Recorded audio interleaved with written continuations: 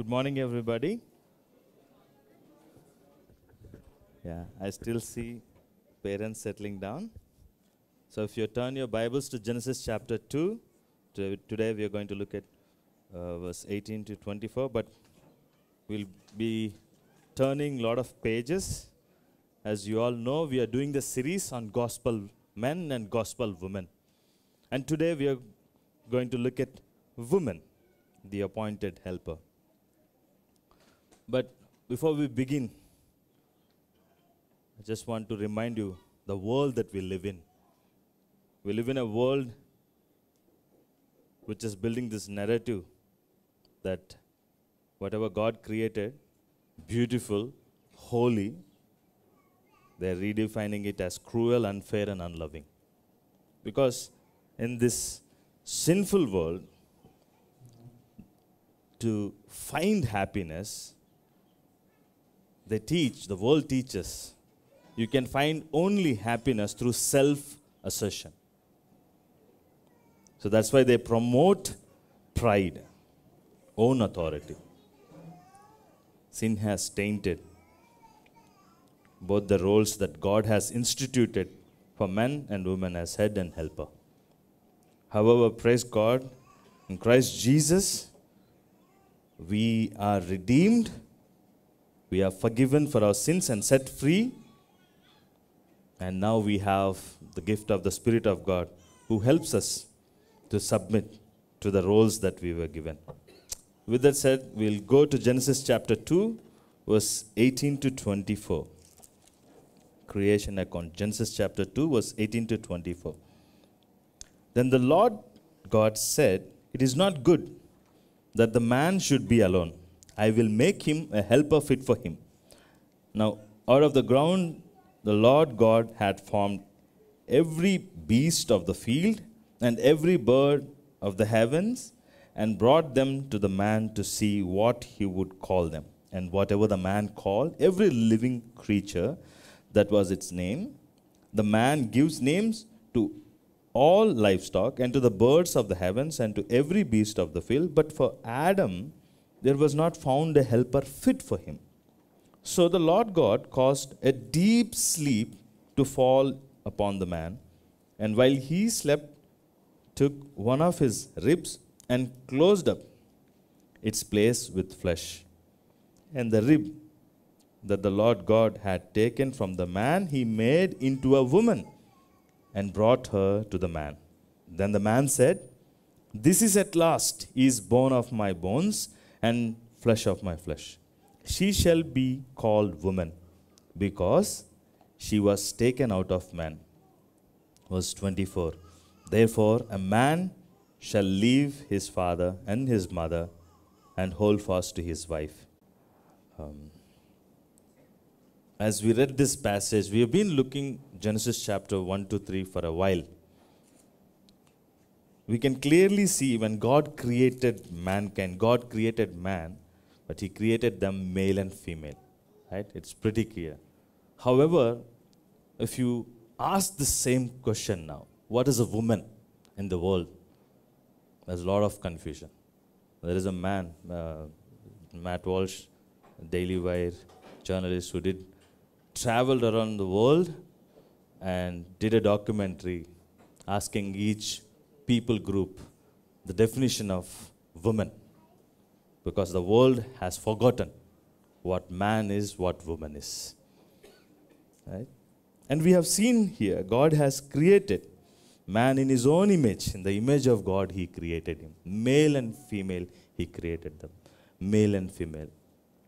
Both are equal in essence, equal in worth and dignity. However, they are not the same. There is distinction, not just biologically, but also functionally. Right? There is distinction biologically. And if, if you want to argue for women, God has given monthly reminders. And this is a distinction biologically also. And even though so much I love my wife, I can't bear children. I can't say, Sharon, you bear one child, I'll bear another child. I can't say that. I can't do that. Biologically, you see the difference. Right? But today our focus is not to define woman biologically. Today our burden is to look at true wo- womanliness. And last time when we looked at true godliness in the man, we said Christ is the picture, is the model for a man to follow. He is the man's man. But what, what example we can point to for a woman? I would say Christ himself. Woman is godly when she submits to Christ and follows Christ. So today we will look in uh, the scripture portions, not just Genesis, but we'll also look into other passages. And our goal is to find what is God intended meaning and the function of a woman as a suitable helper. Because as we read from this passage, the Lord said in verse 18, It is not good that the man should be alone. I will make him a helper fit for him. Helper fit for him. Now, at first glance, when we read that God created man, man and woman, and woman as a helper for the man, we might think that woman is the one who makes man's life easy, easier, because she is a helper. So we need to define this word helper biblically. We need to define this word helper biblically. And if you um, if you are raised in a family like mine, you might early in the morning you will hear in this ma where are my keys the work belongs to the plumber's helper not the plumber in the same way when we read the helper um, if you look if you think like worldly you'll think woman is a helper to make man's life easier to clean, to clean the dirty work that man had made. However, the idea that the, the, the word that is used here, the God intended meaning for this word is completely different. In the original language, it's, the word that is used is Ezer, which means someone who helps, of course, but someone who supports, someone who strengthens. It is used in the context of rescue, even war. And so, what kind of support Eve is going to do here? In the broadest sense possible, she helps man in every area. But what does the text say? What is the context? It is important to know what the context is. To define this word helper, we need to look into the context. And if you remember the passage that we read, you might think it's some sermon for marriage, but this is, we are trying to look at who woman is. And in this context, as you see, it is it, the passage is uh, leading towards a marriage. You see, initially, God creating a man, and God said, It is not good that the man should be alone. And then God said, I will make him a helper fit for him. And then God creates woman, brings in front of man, and man starts singing. This is the first words ever recorded, uh, first words ever uh, spoken and recorded in the Bible. And this is the song that Adam sang for his wife. This is last. This is at last is bone of my bones and flesh of my flesh. She shall be called woman because she was taken out of man. And verse 24 it says, Therefore a man shall leave his father and his mother and hold fast to his wife, and they shall become one flesh. This passage is leading towards marriage, as you can clearly see. So this word Ezer, the support, the uh, the uh, the the helper, uh, this word means definitely the one who is strengthening and supporting. But if you see, it's in the context of marriage. So a woman is helper for man to her husband, not for everyone else. So God created woman so that she might be a suitable helper for man in the marriage. Now, coming back to the uh, thought of the purpose, the work that woman has to do. What should she help? What help she should offer to man? Again, in the context, we see God created man and woman in the image of God. So, God created man and woman to reflect God, to imitate God. And as Adam, man, is in the pursuit of imitating God, making God known and living to glorify God, a woman helps him to do the job of making God known and glorify God. That's, that's the help that woman offers to the man in the marriage. Woman exists to make, to help man imitate and glorify God. And they both together do the same.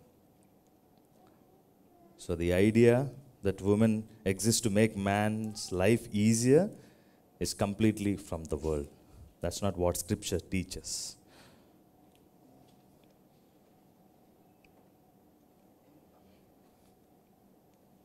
But how are you today, women? When you hear your calling as a woman is to be the helper, helper for man. How do you receive it? If you want to be a woman of God's own heart, you have to seek what God wants you have to obey God, you have to hate sin because God hates sin. You have to do what God commands, and you have to hate what God hates. As Jesus said, If you love me, obey my commandments. Women, if you love Jesus, obey Jesus' commandments. Your helper, helper to the man, to your man, so that you both reflect the image of God. Glorify God. It gets better. Let's try to understand this word better. Helper, this word again, as I earlier mentioned, Ezer, this word does not, it didn't have, doesn't have any connection to Eved, which is slave. Woman, a helper, not a servant or a slave for a man. This occurs, this word occurs 21 times and two times here and then 16 times it addresses God. God was addressed as a helper in the Bible. The, if you see in Exodus, Moses named his son Eliezer, which means the God of my father was my help and delivered me from the sword of Pharaoh. Exodus 18:24. Psalm 121. We are all familiar with this psalm. I lifted up my eyes to the hills. From where does my help come? You know the word that help? Same word it is used. My help comes from the Lord who made heaven and earth. It is God who comes alongside us in our helplessness and helps us. And if you say women are inferior to man because they are helpers, you are saying God is inferior.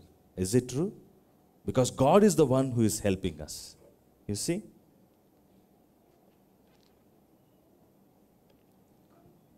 God is not subordinate to his creatures. So, any idea that helper means inferior should be rejected. So, women are not inferior to man because of their calling. They are equal in worth and dignity. Women are not inferior to man because it is God's appointed calling for women. But the most resentment for this calling is because of sin. If you remember Genesis chapter 3, verse 16, it says, Genesis chapter 3, verse 16, to the woman he said, I will surely multiply your pain in childbearing. In pain you shall bring forth children. Your desire shall be for your husband, and he shall rule over you. And as you have seen in the last part, your desire shall be for your husband, and he shall rule over you. women desire to rule over husband, but husband rules over you. And this is the curse. What curse has made is that the perfect harmony that woman and man had in their roles, being the head and the helper, it makes difficult for women to submit to her husband. However, some say it was part of the curse that woman had to submit to man as a helper. However, if you are in Christ, if you put your faith in Christ Jesus, you are set free from sin. You are free. And there is no difference. Like Galatians 3:28 says, there is uh, no difference. Like Jews, Greek, man, woman, there's no difference. You're redeemed now. So, women can take leadership roles because you're freed from sin. Is it really true? Imagine me having two heads. I have a head which is equal size to two heads. However, it would be weird if I have two heads, right? And if you see a family where husband and woman both act as heads, it will be creepy as well. It won't, the, the, that relationship will not stand. So, people, there are some who say that this submission is because women had to submit because of sin, and if you are freed from sin, women are freed from sin and can reign, can take over leadership roles. Quoting the same passage that we read, Genesis chapter 3, 16. I, I'll read again. To the woman he said, This is, af- this is after sin, and God is um, speaking to woman. He says, I will surely multiply your pain in childbearing. This is a part of the curse. And in pain you shall bring forth children. Your desire shall be for your husband, and he shall rule over you. He shall rule over you because he will reign you. Man will reign you because of sin.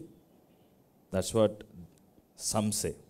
However, God is saying, God has already designed that man is head and woman is the helper, and woman has to submit to the leadership. But what sin does is, it makes things difficult. Because of sin, woman desires to rule over husband. But some have misunderstood this passage. But it's easy to understand, right? Is it easy for women to bear children? Imagine the conversation uh, between husband and wife. If a husband, uh, you know, woman says, Uh, honey, I think today is the due date. I think I have to go deliver the baby. Let's go to High Street, order food in McD, and then we'll go to Jupiter, close to the you know High Street, and then we'll pop the baby out, and then come back, take the order, and we'll come back home. You know, it's not that easy, right? Women still go through pain when, when they're in labor. We are still in this sinful world. Right? Uh, yes and amen. When we put our faith in Christ Jesus, Christ has blotted all our sins and you will receive forgiveness, complete forgiveness. And you're redeemed from the curse of sin. However, we, we are not still enjoying the final aspect of our salvation. We, we are still waiting for Christ to return. So until Christ returns or you meet Christ, you will not leave this sinful flesh.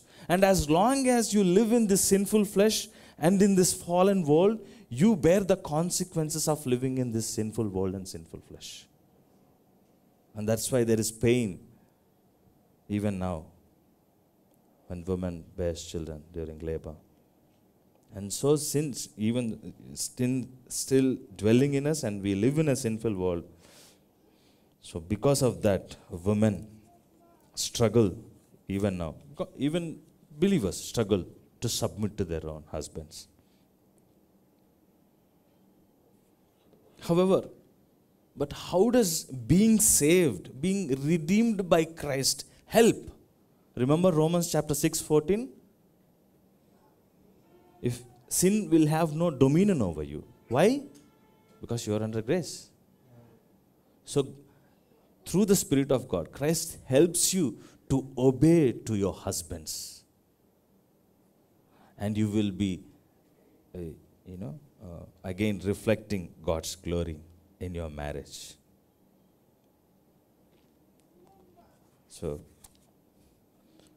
woman, as God has designed to be the helper, and she is complementary to man, not a servant. She is a, uh, the same word helper was addressed to God. And finally, she is a helper to her man, not all men. As you have, as we have already seen, he said, Then the Lord God said, It is not good that the man sh- should be alone, talking about Adam. I will make him a helper fit for him. Eve was fit for Adam, not for me, not for any of you here. Eve was made fit for Adam. And as I earlier said, the progression of the this passage leads to the presentation of marriage. Adam needs a helper, and God made a helper fit for him. So every woman is a helper for, to her man, not every man, all men. Imagine if woman had to be helper for all men. If men starts and keeps giving orders to women, commanding orders to women, whom should she serve? Whom should she show importance to? Right? If multiple men keep administrating her, it would be chaos. She is a helper for her man. So, woman as a helper, one who strengthens, completes man. That's the meaning of the word. Now, well, let's look at the functioning. As husband called to be the head, last time we have seen, he should be lovingly serve his wife, lovingly provide, protect his wife. And the same way, woman as a helper should, with joy, delightfully submits to her husband. So let's look at our seven, second point. As women helpers, they should devote themselves to their role, devoting to the role as helper, as a girl. And the in and we are reading, uh, we will be reading two scripture portion, Ephesians five and Titus two. Um, however, we live in a culture when we preach wives must submit to their own husbands. They consider it is like promoting slavery. However this resentment is coming because of lack of understanding of what scripture says. As we see genesis chapter 3 verse 6 satan went to the woman and deceived her. The serp- serpent approached woman and uh, ignoring man strikes a conversation with the woman and he said did god actually say you shall not eat any of any tree in the garden?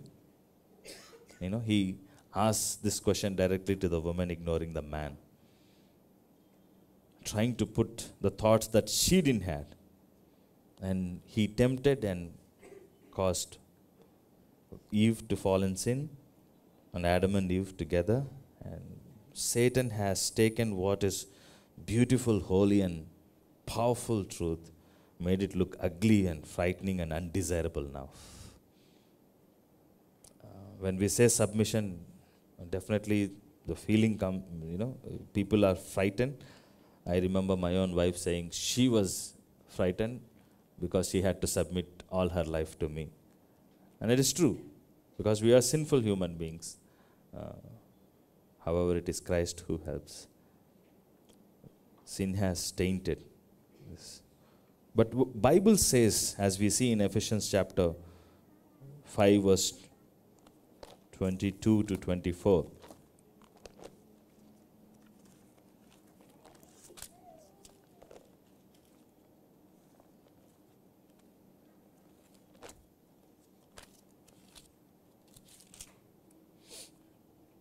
Wives, submit to your own husbands as to the Lord. For the husband is the head of the wife, even as Christ is the head of the church, his body, and is himself its Savior. Now, as the church submits to Christ, so also wives should submit in everything to their husbands.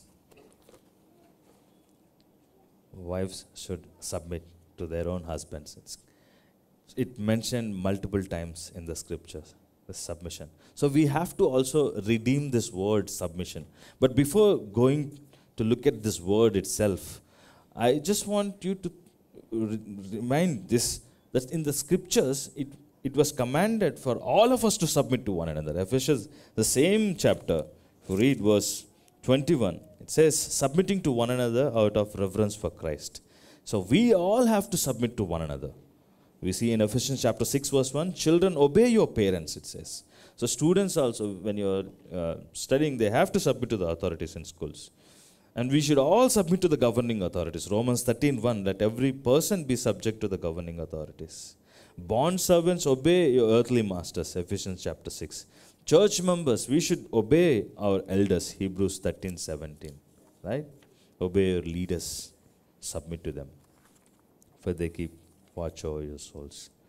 In addition to all these relations, woman has specifically, woman was asked specifically by God woman was commanded specifically to submit to their own husbands. And let me tell you, this is not my words, uh, this is God's words. And God says, Wives, submit to your own husbands. And you submitting to God's command is godly. You not submitting to God's command is ungodly, satanic. It's rebellion. Even after knowing when you don't submit.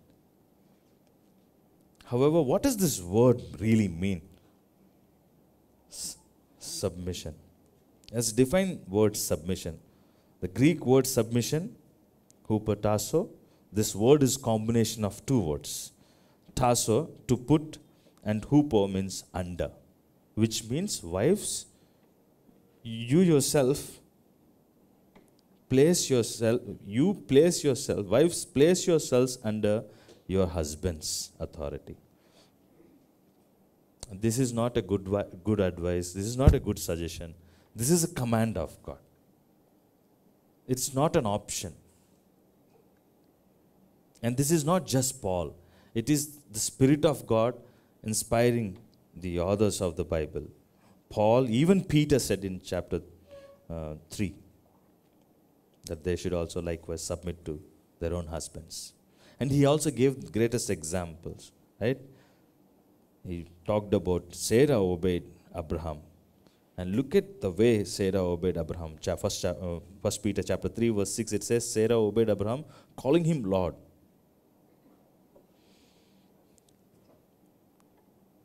Number one, this word literally means that women voluntarily place themselves under the authority of their own husbands because of the command that Christ has given. It's willful submission to her husband. Not because husband is smart or something. This is because God called woman as a helper and she should function as a helper by submitting to her husband. Willfully godly women submitted throughout the history. And greatest example for submission, Christ Jesus himself, Luke chapter, chapter 2, verse 521. It says, He went down with them, with his parents, and came to Nazareth and was submissive to them. And his mother treasured up all these things in her heart. Imagine the Son of God placing himself under the authority of sinful human beings. What a great example. And rest of the scriptures, if you have read the Gospels, Jesus multiple times said in John chapter 3, 6, verse 38, said, For I have come down from heaven not to do my own will, but the will of him who sent me. So, women, if you think submission, you know, you submitting to husbands is something inferior, you have to understand that Christ has submitted to Father. And we know from the scriptures, Philippians chapter 2 clearly says, Jesus is equal with the Father. Though he was in the form of God, he did not count equality with, uh, with God a thing to be grasped. Jesus is equal with the Father. However, he submitted to Father. Submission is to put yourself voluntarily under authorities. Okay, submission is there in the Bible. However, what is the extent? How much should women submit to the man? Verse 24, Paul says in chapter 5 of Ephesians Now, as the church submits to Christ, so also wives submit in everything to their husbands. Everything. How much does everything cover? Everything. Except when husband uh, commands what God prohibits. You know, she should submit to her husband in the Lord. Everything but in the Lord. Only exception is when your husband commands you to sin. When your husband commands you to do what God prohibits. Because husband doesn't have authority over his wife to sin. And at the same time, another clarification. When husband asks a wife to do something what she does not want to do, it is not the same as what God prohibits. So, if husband asks a woman, his wife, to do something what she doesn't want to do, she still have to do, as long as it is in the Lord. You know. For example, you are attending this church, and if you are a head of the family, you are the husband, you took the decision to attend a, a, a church, and the wife says, No, I don't want to go there because you know I don't like this person, I don't like I don't like the music or whatever it may be. If the husband says, No, we are going to attend that church, we are going to fellowship that church, with that church, uh, women are to submit to their husbands. Husband doesn't have authority over his wife to sin. However, he is the one who takes decisions. And at the same time, submission means that that doesn't mean that woman cannot, you know, share her thoughts, you know, share her wisdom. Of course, she has to share wisdom. However, the final decision rests on the man, the husband, head of the family.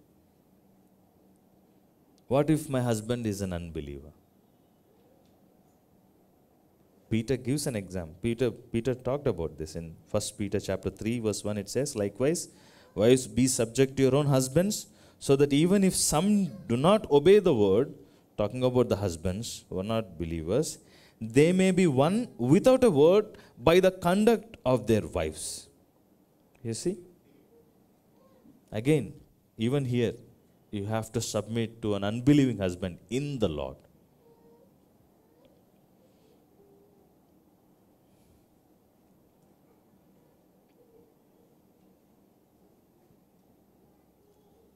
How serious is this command? It's a matter of your uh, eternal life, you know. It reveals your relationship with Jesus. In John chapter 14, 15, as I earlier mentioned, Jesus said, If you love me, obey my, my commandments. If you love Jesus, obey Jesus' commandments. And that's why Matthew chapter 7, Jesus said, Not everyone who says to me, Lord, Lord, will enter the kingdom of heaven, but the one who does the will of my Father who is in heaven. And for those who do not obey Christ, just profess Lord, Lord by their mouths. Jesus said, I declare to them, I never knew you. Depart from me, you workers of lawlessness. Jesus is angry here when he makes this statement. Depart from me, you workers of lawlessness. Get out of my house. Then, you know, that's the tone. Get out, get out from me. It all boils down to your relationship with Christ. Wives, submit to your own husbands as to the Lord. What says?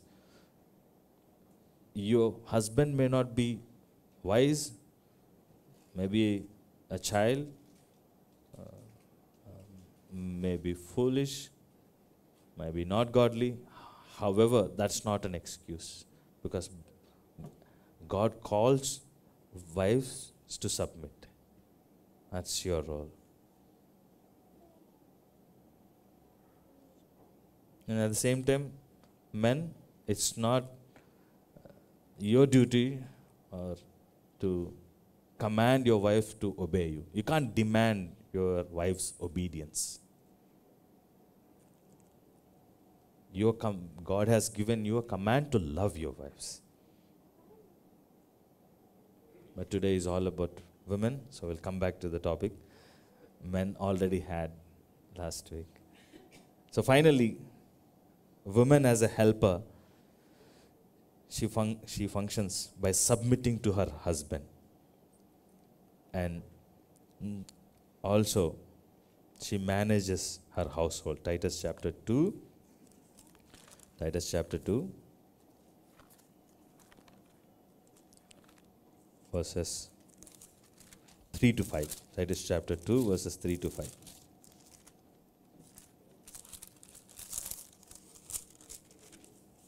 says, Old, older women likewise are to be reverent in behavior, not slanderers or slaves to much, to much wine. They are to teach what is good, and so train the young women to love their husbands and children, to be self controlled, pure, working at home, kind, and submissive to their own husbands, that the word of God may not be reviled.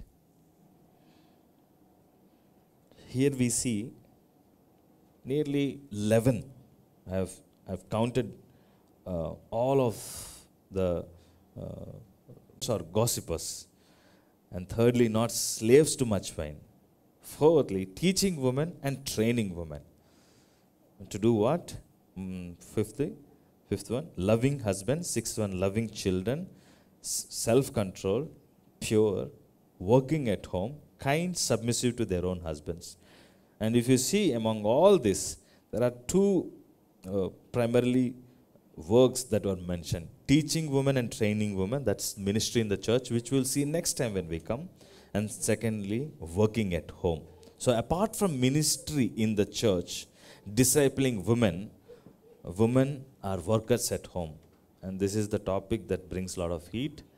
Um, and, you know, uh, are women allowed to work? Uh, Bible does Bible allow women to work outside? There is no prohibition. However, there is an exception. Uh, you don't bring it to me. You take it to the Lord. You, you you discuss. You know, you pray. You ask God. But one thing is clear. If you read all this list from the Bible, there's a lot on your plate. You know, there's a lot to do. However, now women don't want to be workers at home. Why? Satan, Satan has already deceived, you know. It's anti God. Uh, whatever Satan brought into this world is anti God, anti Christ. The word workers at home literally means the ones who are working at home, managing household. It simply says the sphere of women's work is home. It doesn't mean that women should be locked in your home 24 hours. But that's it's home is her sphere. That's where she that's where she works and that's what she works for. That's her domain. And Proverbs 31 woman, she left home, but she worked for home. It's in that sphere. However, she kept her responsibility as a homekeeper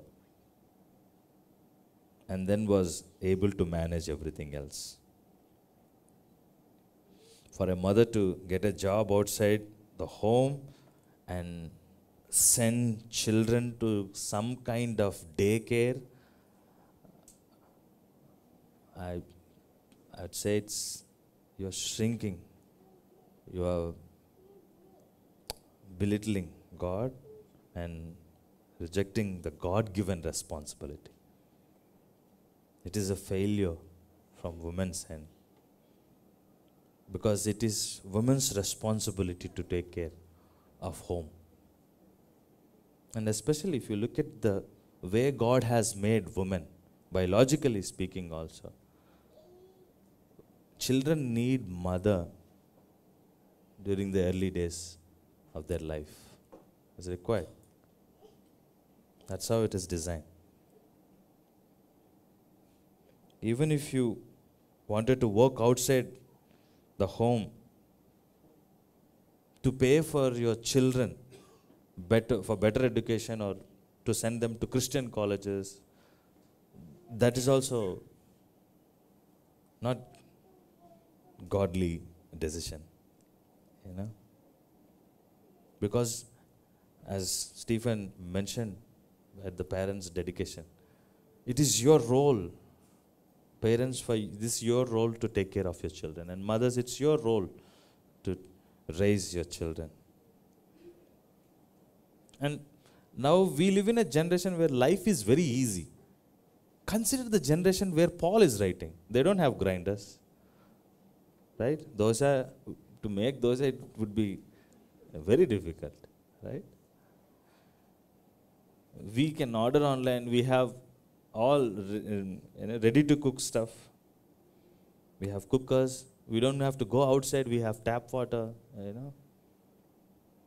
Compared to the world, Paul writes. Now we are in a very comfortable generation, right?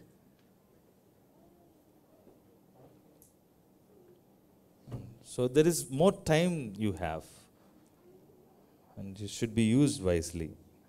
So rather than being distracted by what world defines woman is, we have to look to the Bible. And it is dignified.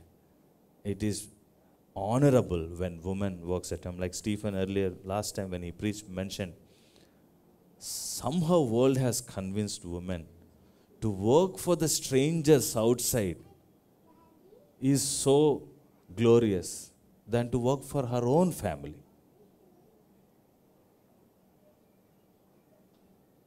my mother my, my mother just a homemaker.